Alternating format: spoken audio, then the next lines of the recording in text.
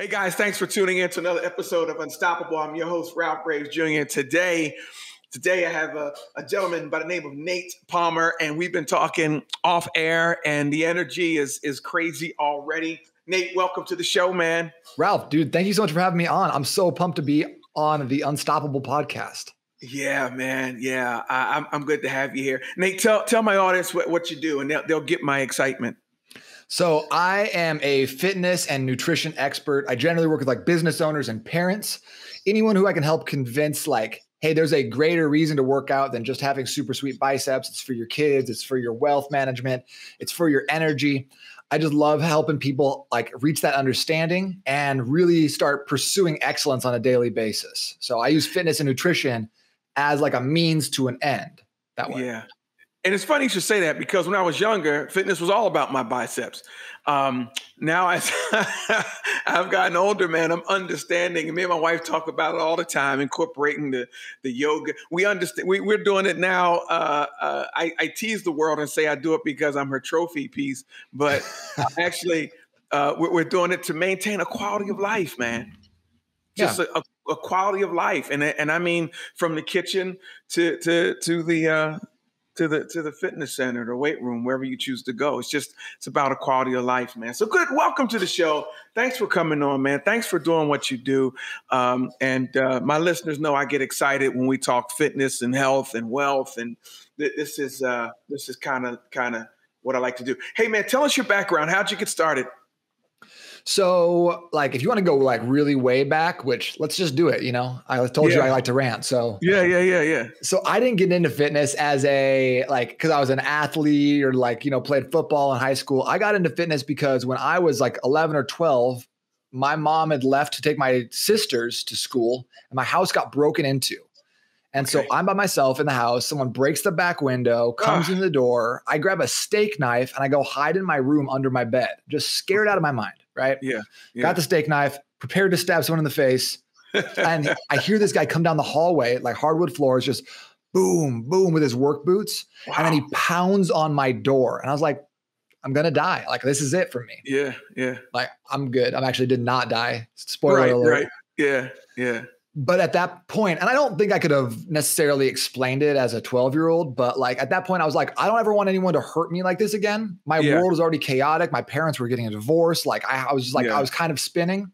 Yeah. And I was like, I need to have all the power I can have. Like I can't let someone take my autonomy get away again. So therefore, the more beard, muscles, and neck tattoos I can have, the more no one's ever going to be able to mess with me again. Yeah. And so that kind of became my mentality. So I started working out. You know, I was like uh, 13 years old, doing push-ups in my room and stuff. I worked out so so badly for like like seven years. You know, all through high school, just doing the worst. Yeah. You know, I did biceps set like eight days a week. It was horrible.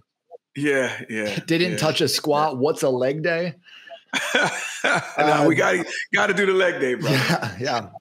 So uh, then in college, I was getting a degree in business, and I was like, "This is so boring. I do not enjoy this process." So I started reading all the articles and like literature and magazines and everything I could get my hands on um, in terms of like fitness, muscle building, nutrition. I just dove in. I just was so excited about it, just obsessed.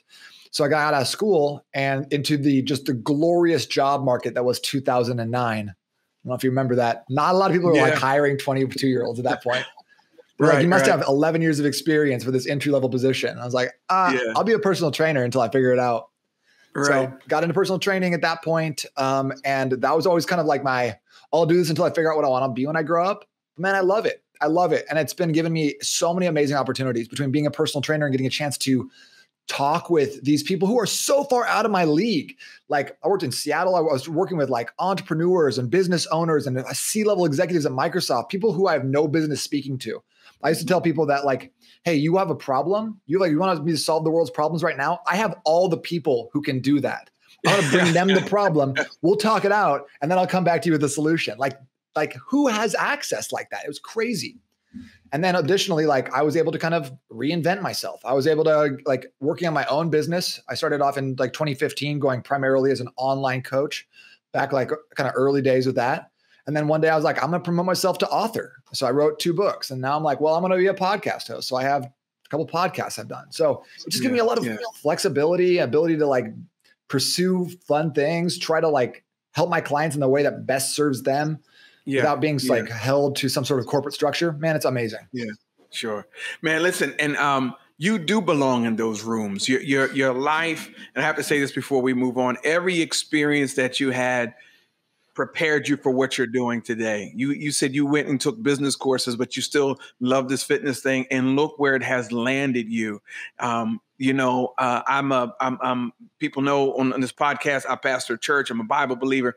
I don't believe that anything is happenstance. Happenstance. I believe your order, your steps have been ordered, and look at you now. You are valuable to those spaces that you're in because one of the things that you do is you teach nutrition as a way to really perform your at your best in the boardroom. A lot of us, a lot of us jump on nutrition because I want to, I want to, I want to, I, I, I, ate this because I, I you know, I, I want to work out hard in the gym.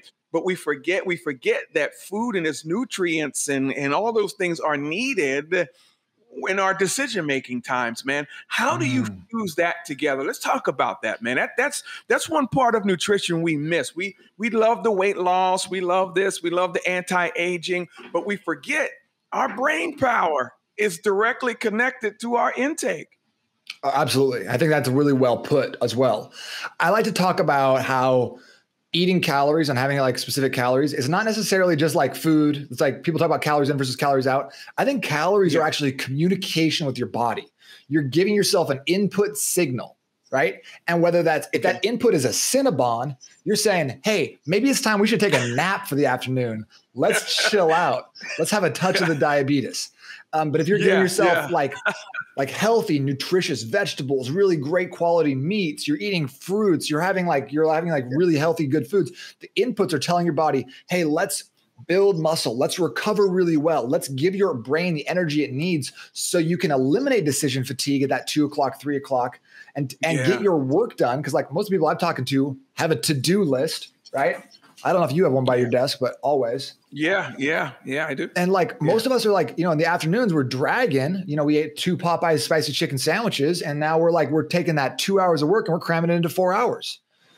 So it's like when you can now take those, like get that mental fatigue out and you feel good all the time and you're getting your work done fast like what what else do you love to do because most people don't love bulgarian split squats ralph like I got to kind of convince them that they're they're good.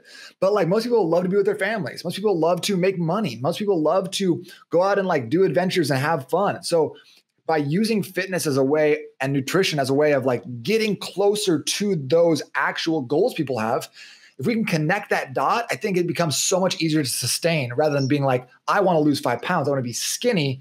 You hit that, yeah. you check that box, and then you're out, right? That's why brides yeah. are the hardest clients. They're perfect for yeah. the wedding, and then they're gone. They're in the wind. Yeah, yeah, yeah. You know, man, we we really have to move past just the uh, I'm doing this because I want to look a certain way. I want to live a certain way. I want to be able to.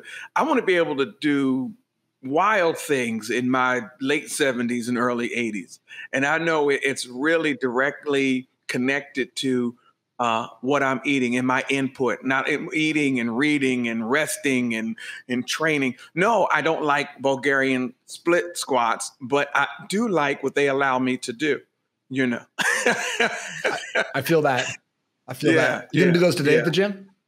What's that? No, no. Today is uh today is, is shoulders, shoulders and, and Eastern block workouts, right? Okay. All right, all right. We'll little Russian twist, that. Romanian deadlift, Bulgarian split squat. Let's just get that the the, the holy trinity okay. of Eastern uh, yeah, block. All right, yeah, well, well, I see. To do those, when I walk in the gym, I have to say, okay, Ralph, eat the frog first. Eat the frog. Eat the frog. I have to do those first. Yeah. If I don't do them first, I'm not doing them. are you gonna do your cardio first, or are you gonna do your strength first today?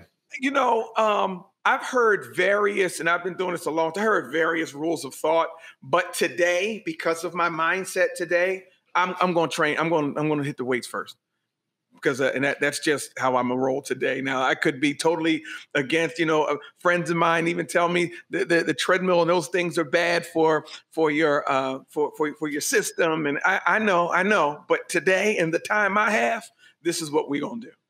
All right, you want me to want me to want me to clear that up for you? Sure.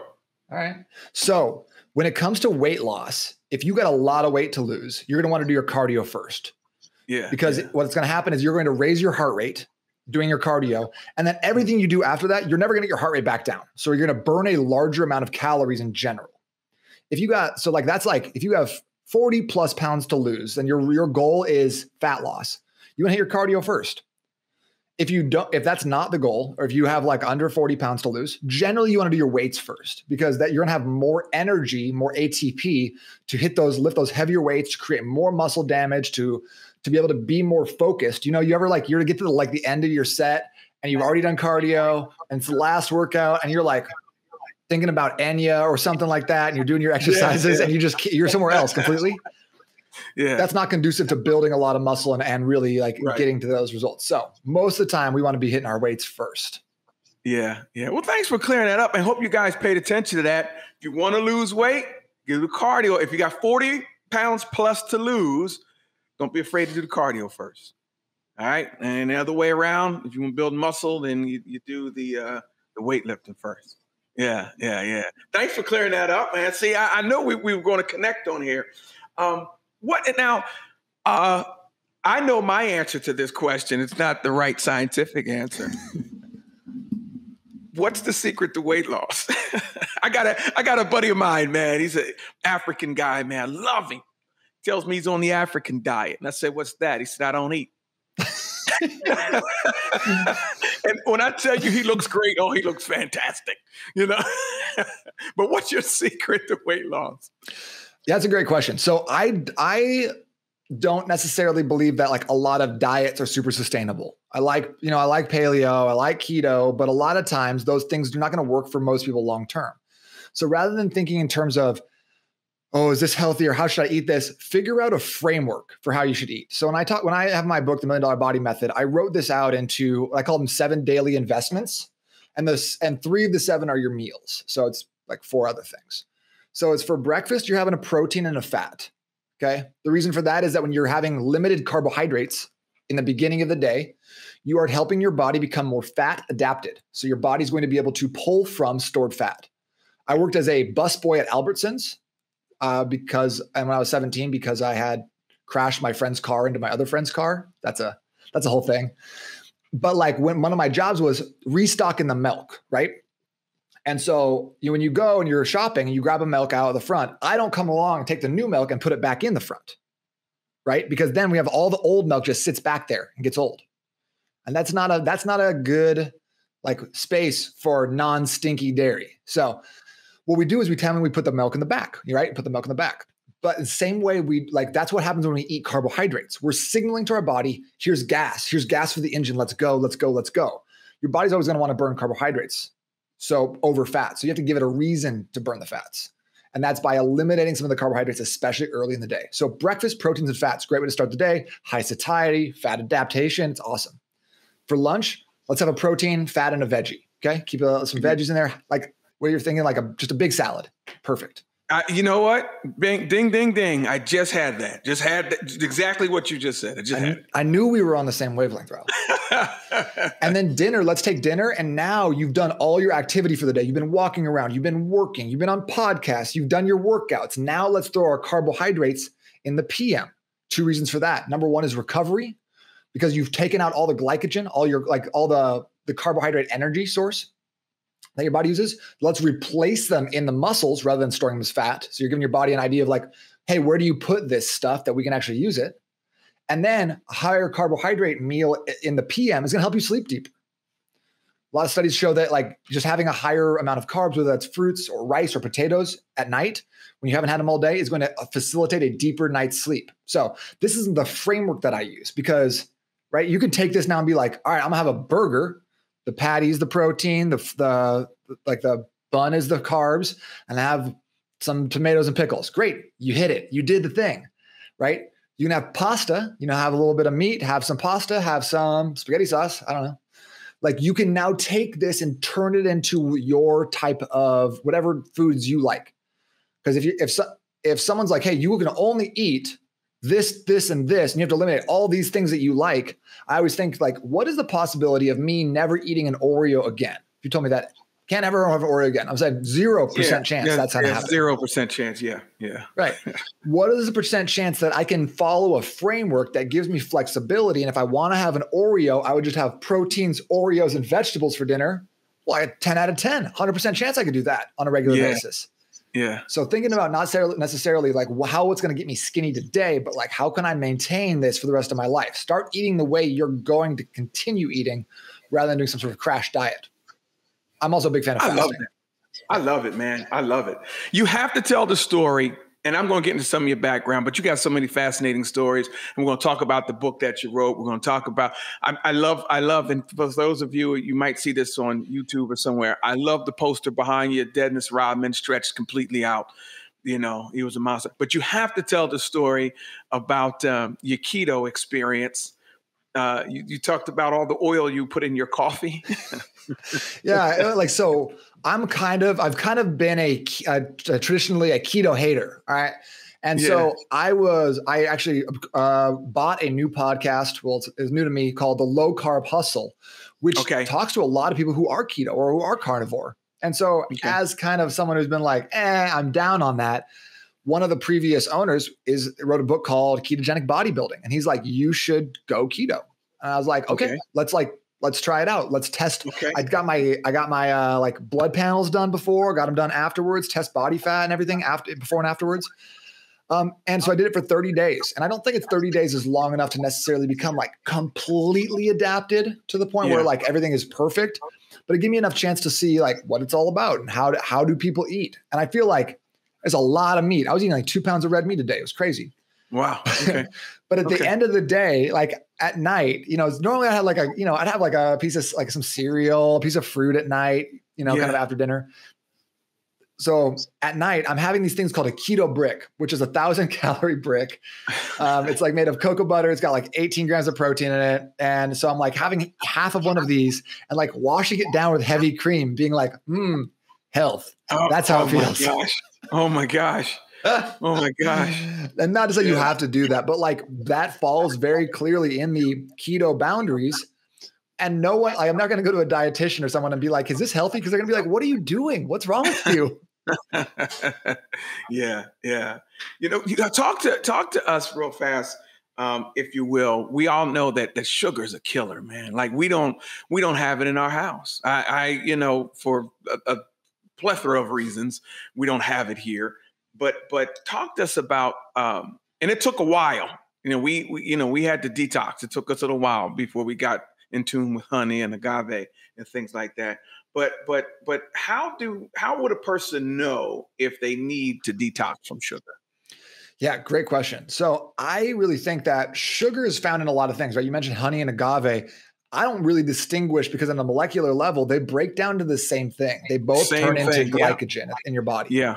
The same with like white bread, the same with pasta. Like all that stuff is what I would consider to be kind of a sugar.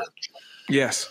And so if you're having this on a regular basis, you're especially if you're having it early in the day and you start feeling like let's say you eat a Pop Tart for breakfast, you eat a waffle for breakfast, and then like 10 o'clock comes and you're like, man, I'm a little hungry. Like that's a sign that you probably have had too much sugar. 10 gotcha. o'clock, 10 30 comes and you're gotcha. like, man, I could go for a little bit of a nap right now. Two o'clock, yeah. tired again, hungry again, right after right at two o'clock, hungry wow. again after work, hungry again after dinner. You're in the fridge looking for stuff. You know, like you know what I'm talking about? You go in the fridge four yeah. times. Every time your standards yeah. get a little bit lower. Yeah. And then all of a sudden you're like, I guess I'll settle for these like three old grapes and like a slice of cheese, but not all the cheese because there's a little mold on it. It's been sitting in the back. Yeah. So, yeah, so I, cut off. I, will I'll eat the back part of it, not the front that has the mold. I eat the back right. part. yeah. So when you if you're experiencing any of those symptoms, whether it's like fatigue during the day or hunger cravings, those are your body talking to you against communication. And the reason for that is that there's a lot of bacteria in our stomach that feeds on sugar, and if we feed that, it grows, right? Just like everything else. And so when it grows, when that bacteria grows, when visceral fat around your stomach grows, it gets a direct line to your brain. So it can send out these signals of a hormone called ghrelin. And ghrelin is a hunger hormone. So even though you're not necessarily hungry, you don't need any food. You like you're not going to starve to death between, you know, 8 a.m. and 12 p.m. Your your body's like, yo, can we get some of that? Can we get some of that nice sugar? And you're like, I guess we could have some. And so then you have you know, like half of a donut, right? Being good, you have half, right? Rather than having like 14 blueberries, we have half a donut. And then all of a sudden, what's happening is our blood sugar and our insulin levels are going crazy. The blood sugar rises, insulin goes up to meet it. Now it's down, now it's crashing, now you're tired again. So you eat something, it spikes back up, that goes back, the insulin levels go. And so all day long, you're just like up and down, up and down with your energy. That's why I kind of went and talked about the proteins and the fats in the morning. That gives you this nice, smooth blood sugar all day rather than fighting these gigantic swings, which can make a huge difference in your energy, your emotional health, your mental state. Yeah. Yeah. You know, I um, you know, I'm the guy now. I'm, I'm how old am I? I'm 54 now. I keep saying how old am I? Yeah, thank you. I'm, I'm at the doctor every year just because I want to catch anything that could come down the pike. I think you know, if you got insurance, and I'm blessed with great insurance, use it. So I show up. My my sugar levels. I, I love this this term, and I, I think it's just a term to get you on meds pre-diabetic, right? About you mm. know, oh, pre-diabetic. I'm like, well, I'm pre everything. You know that, right? so, um, so I just said, okay, I. That's when I just I just stopped putting sugar in my coffee. I go back the next year, man, your sugars have dropped immensely. It's something simple as that. I just stopped putting sugar in my. Just drink it black from now. You know, it's not just that hard either, huh? No, it's not hard. It's not hard. It's just just little things that we can control before we have to get medicated. I don't want to be medicated. No, diabetes is completely reversible. High cholesterol yeah. is not like is not a is not something that we need to be complete like medicating and over medicating the entire country on statins, right? These things are all reversible with correct diet and lifestyle choices. And I love what you yeah. said. It's a small choice, right? Not putting small your sugar in your coffee today costs you nothing. Right. Not doing it for 10 years in a row yeah. man, now you're talking about a snowball effect, right? Yeah. And I think all of our health is like this. You know, everyone wants to make it this big, grandiose thing. I'm going to go to the gym, Ralph. I'm going to go seven days per week. I'm going to get lean. I'm going to get huge. Yeah. I'm going to train for a marathon. Yeah. but I yoga, right? Yeah. Got a flexibility. So I got to hit yoga four times per week. All right. Now I'm at 11 workouts. And we start making these gigantic, big steps when in reality, it's these little tiny baby steps that we can keep doing not, not only are they going to be yeah. more sustainable and help you get great results over time, but they also build this self esteem muscle. And a lot of people don't even realize yeah. this is a huge yeah. part of fitness and getting in shape and changing your body. It's a self esteem, it's a self confidence issue for a lot of us because so many times January comes around, new year, new me, right?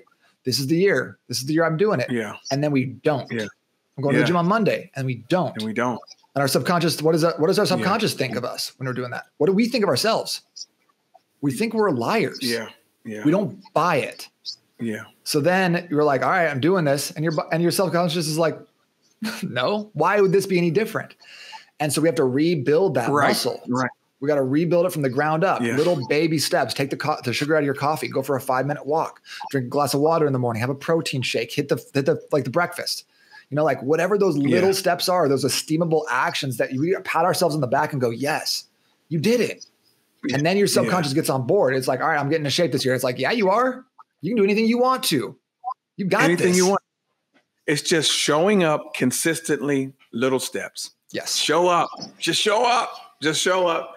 You know, talk to us real, real fast, man, and, and about um, insulin resistance. I need my audience to understand this. I'm big on this. Um, my, my dad had some uh, diabetic issues. You know, he he lived to be 83, 84, but his quality of life diminished because of diabetes. What is insulin resistance and how is it killing us slowly? Again, doesn't happen overnight. Talk to us and share with us insulin resistance and how it begins to kill us slowly. So, insulin resistance is kind of what you mentioned earlier. When you went to the doctor and they said you're pre diabetic, it means that your A1C levels are 4.6 or higher. So what's happening at that at that level, and then we kind of have designated the 4.6 number for some reason, is your body is not using blood sugar and insulin properly. So I kind of okay. was giving the example earlier. You have a like a pop tart. Well, normally right. what should happen is if you are insulin sensitive, even if you have a pop tart, your blood sugar comes up, your insulin rises to meet it, it drops them down together. Insulin's a key. It takes a key and it opens your muscles and puts the sugar inside and is like, great, see you a little later. So, yeah. but if we have now, what's happening is now we get to the point where our blood sugar goes up and our insulin goes a little too high, right? Goes yeah. down, but now we got insulin. So our body's like, we're out of whack. We need some sugar, right? That's that craving we get. And so all day long, now we eat the Pop Tart, goes back up, that's down. And so we're never in balance. So we're always feeling tired. That's why a lot of people will go on a keto diet or a low carb diet and be like, oh my God, I feel so good right now. Yeah. I feel like I've had the flu for the last five years. Is just because they are just living in this state of constant like energy flux. So wow. their body is not using blood sugar and insulin properly. So being insulin resistant you can tell this like if you're a man you have a size 40 waist if you're a lady you have a size 35 waist or higher you're insulin resistant period okay. if you want to check this out yourself and you're like i'm not totally sure take a weight take a waist measurement at your belly button at your narrowest part okay because we're checking yeah. for visceral fat and then divide that number in inches by your height in inches and if that number is higher than 0.47 you have some degree of insulin resistance. It's not binary it's a sliding scale right? Yeah. But we want to be we want our waist to height ratio to be 0.46 or under gotcha. to really ensure our body is processing carbohydrates at the at the like the very best we can. Gotcha. Because until gotcha. you get to that point your body just wants to hoard carbohydrates. It doesn't want to burn them off. It's not yeah. trying so you're never going to really get past the carbohydrates to the fat i always think of it as like like I, my daughter just turned four today ralph so, you know, and oh, I congratulations. Son. Happy birthday to her. Thank you. Yeah. I got a son who's about uh, almost a year and a half. And okay. I can be a really bad parent at times because my daughter's doing can. something and she's like, she's freaking out. She just wants to do something else. And I'm like, no, you got to do it my way. And, you know, I'm trying to be like authoritarian yeah. dad. And yeah. what does she do? Yeah. She flies off the handle. She's screaming. My son's now crying. Everyone's upset at me because I wanted to do it this way. I wanted to go like like take, go to sure. go to war right with my kids for sure. some because I'm I'm yeah I'm slow. my wife's amazing though. My wife is incredible. So she goes, she doesn't go, hey, you got to do it my way. She goes, hey, have you seen this cool thing over here? And completely redirects them. Now my kids are like, what are you doing? I want to be a part of that. Like, what's that cool thing mom's got going on? So she's amazing. Insulin resistance can kind of be similar to that in the fact that we are insulin resistant and we're like, you better lose weight, diet, and exercise. And then we're just just white knuckling and it's motivation. And then we look, we look ourselves in the mirror, we go, I failed. I suck. I can't do it. But it's not necessarily, you just took the wrong approach. You did not give your body any reason. You didn't distract it and say, hey, here's the here's the other opportunity. Here's the other option. So we got to give our body a reason to burn fat, just like you know, you give your toddler a reason to make a new choice. Yeah, yeah. I like that analogy, man, because some people just, you know, this whole, you know, you say the word diet. I hate the word. I hate the word diet. I hate the word diet. I just, just I hate the word diet. It's just a way of eating. So I say just, just change your eating habits. But the words diet and exercise. Listen, I've been chasing the kids all day. That's exercise, as far as I'm concerned. That's what some people say. you, you, know, I've been chasing kids all day. You know, um, but no one wants to be um, sick or sick leave. Everybody wants to be healthy. So how do I? Everybody can't be Ralph. Everybody can't be Nate. Everybody can't be self-motivated. Everybody can't do that.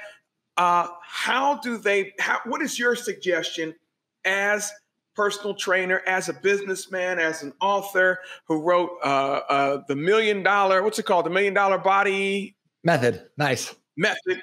Thank you. The million dollar body method. Go out and get it today how, how do you how do you what what are some of the steps for me? I'm a mom. I'm a corporate guy. I've been in the office all day. I'm not trying to come home. If I don't get up at three o'clock in the morning and do it, I'm not coming home to do it. So so what are some? But I want to be healthy. I want to be healthy. So what do you say? What do you say to, to moms and, and dads and things like that? Like at the end of the day, like, you know, if it's if it's a priority, you're gonna make time for something. You know, like the average American watches three and a half hours of television every night. You know, say like, it, say it, say it. So like it so I'd rather someone say, "Hey, listen, that's not a priority for me right now." That like get that good no. That's a good no. Great. That's not a priority for me right now. I got too much on my plate. It's fuller than I want it to be. All right, perfect. Then to say, I want to do it, I just don't have time because when we continue to put the onus, the limitations, the excuse, the the blame on something outside of our control. The time fairy is not showing up, Ralph, and being like, here you go, get some yeah, more time in your life right? If it's yeah. a priority, we make time for things. Okay. Because so in the reality foremost, of it, we have time. We have time. We have time. We can we do something. Time. Yeah. And yeah. like, and to give up our power to some external source, whether that's time or energy or something else like that, it's disempowering for us. It steals our autonomy. So like that's first thing is you is you you have time or it's not a priority. Those are your only two options. Next thing is you don't need to be hitting the gym for 90 minutes a day to get results.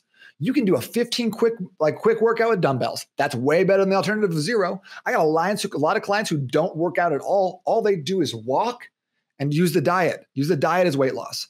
Workouts are not weight loss. Workouts are workouts are becoming more, becoming better. Women get preyed on all the time in the fitness industry because they we use words like lose, drop, like you know, like everything is like drop fat, lose weight, decrease your like we're all trying to put women in a box and make them smaller, right? Men, we're over here like, let's get pumped up, let's get huge. You know, we kind of understand that working out, that exercise makes us greater, it makes us more, we become more powerful. So when we started thinking about our workouts yeah. as a way of getting better. It's about showing up bigger for our kids. It's about modeling them in the communities that we're a part of, that leadership, being the paragon, being the example. That's what workouts are for. Yeah. Your nutrition dictates yeah. all that fat loss. And you got to eat three meals a day, anyways, yeah. probably. Some of us eating eight meals a day. Yeah. So you have time. You have time. This is good stuff, man. I, I, I really appreciate what you're doing, man. How can my audience find you? Where's your podcast? I, they're going to run out and get the million dollar uh, body method. They're going to run out and get that. Um, where where can they find you, man? Man, check out the Low Carb Hustle podcast. Uh, we got some some really cool episodes coming out in the next couple weeks. Right now, just dropped a hot one with a guy named Robb Wolf that I'm so pumped about. He was crazy. He's a crazy guy. Um, but you can find me the book on Amazon, or if you want to just grab a copy, I'll, I'll send your audience an ebook for free. Uh, you can just go to getnatesbook.com to check that out. Okay. Yeah. Okay. All right. Uh, you need to send me a book. I need to. Uh, I'm going to buy the book. don't send me anything free. I believe in supporting the business.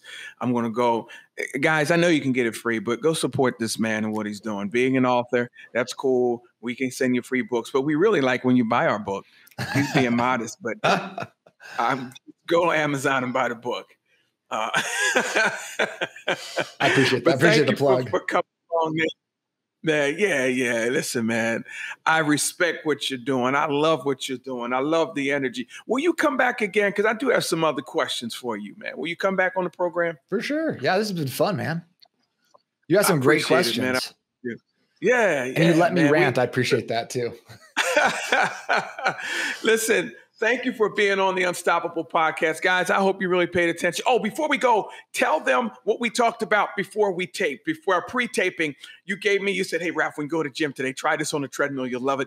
After you after you do your shoulders, it's 30 minutes on the treadmill." Tell them what you told me. Share so, quick. drop this nugget. Ralph, you had you had committed to me to every single day for the next month doing an hour worth of cardio and then Bulgarian split squats. Like, yeah. I appreciate that. That's I mean, uh, no, I did not. I did not. I, I said I, I, I skipped the Bulgarian split squat. I'm sorry. I must have misheard. I get I get confused sometimes. As like I said. Right, um, so so we were talking yeah. about cardio. We were talking about like what kind of cardio you're doing, and I was explaining that like one of the types of cardio that I've been loving recently, personally, but also for a lot of clients because like my my theory around cardio is that it doesn't have to be like it doesn't have to be anything special, right? You don't have to row every single time. You don't have to do stairs every single time. In fact, what we want our cardio to do because we're stressed, we're highly stressed, we're living in a stressful culture, a stressful time, our work is stressful, our commute is stressful, our kids are stressful, you know, like all these things are stress, stress, stress, stress, stress. And then workouts, that's stressful too. Then you add like a HIIT class or like a spin class on top of that, that's like more stress. So how can we control that stress, bring that back down. Well, one of the best ways to do that is by walking. Walking is a huge stress reliever. I feel like it puts puts money back into your like back into your pocket basically, where you know like working out costs, HIIT class costs. So the, the like walking pays you. And so we can do that. Like, but most of us like, okay, I've been walking. It wasn't hard, no big deal. But here's a way you can do it. Build a little bit of muscle in your posterior chain, your calves, your hamstrings, your glutes get paid, sweat a lot, leave the gym feeling amazing. I call it 30 15 3. All it is is 30 minutes on the treadmill at a 15 incline. Some treadmills only go to like 10 or 12, that's fine too. And then a three speed. Once you can do that without touching the sides the entire time, we'll add a weight vest on. But that is one of the greatest forms of cardio because it will not beat you up. It's not going to hurt you. It's going to pay you out. And man, I have to. I they every time I go and do it, they throw the treadmill away when I'm done because I'm just sweating all over it. They have to get rid of the treadmill. I'm just kidding. They wow. don't do that. Wow. I love that workout. I'm going to do it today when I get done lifting my weights. I'm going to do that, man. I'm going to commit to that and, and, and definitely check that out. But guys, you've been li- listening to the Unstoppable podcast and, and my, my guest today. And please share this with everyone. His name is Nate Palmer. Share it, pass it along, and uh, let's continue to be unstoppable together. My name's Ralph Graves, and I'll see you next time. God bless.